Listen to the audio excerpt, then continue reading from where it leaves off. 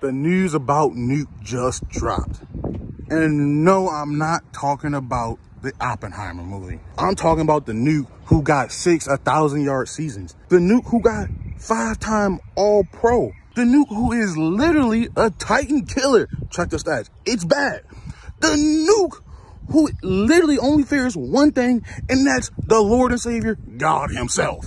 I feel God, homie. The news just became official. DeAndre Hopkins is a Titan. I am so excited to see the impact he's going to have on the season. And let's get it. Titan up, baby.